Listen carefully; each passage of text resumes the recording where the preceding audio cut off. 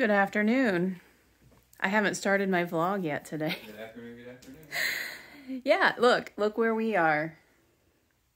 Um, Julian just got a quick turnaround audition request, and I'm thankful that he is home so he doesn't have to do it again like by himself with a makeshift uh, tripod. uh, this is not normal.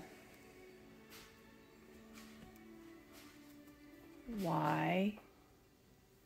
Why is there a raccoon and it's not dark? Oh my goodness. Look at this. Fancy. presentation, presentation, presentation. It is lovely.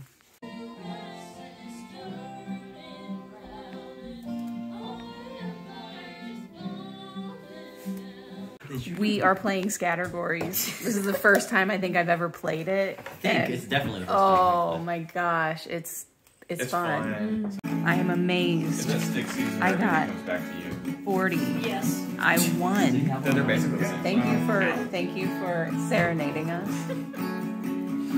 Final clip. Final clip, final clip. Yeah.